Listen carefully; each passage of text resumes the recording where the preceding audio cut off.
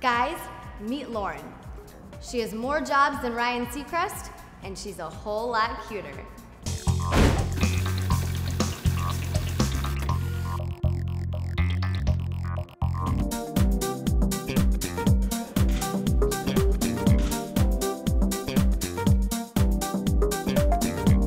I'm Lauren. I'm from Philadelphia, Pennsylvania. I'm a model, actress,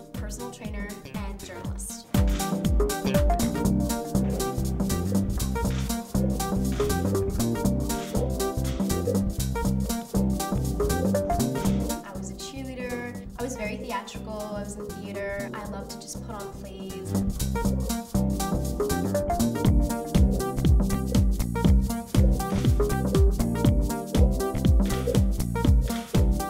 Growing up, I had a huge imagination.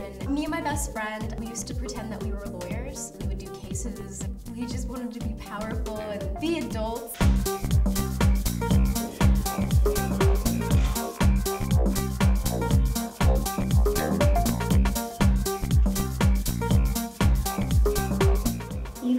All my episodes right now on digitsshow.com.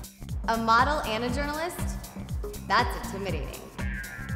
How do you approach a girl that intimidates you? Or are you the kind of guy that stares at a girl all night long and doesn't say anything, and then leaves with his tail between his legs and goes home and does nothing and then drunk texts all of his ex girlfriends? But that's not you, right?